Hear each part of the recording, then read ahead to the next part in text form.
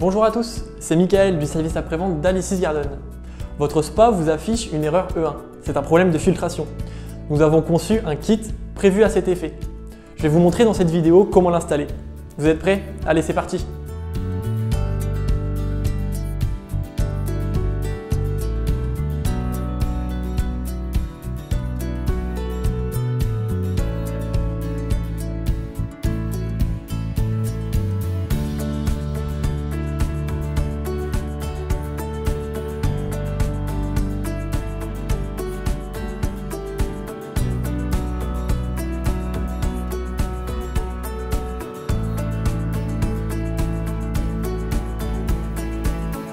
Grâce à l'installation de ce kit, votre spa est de nouveau opérationnel.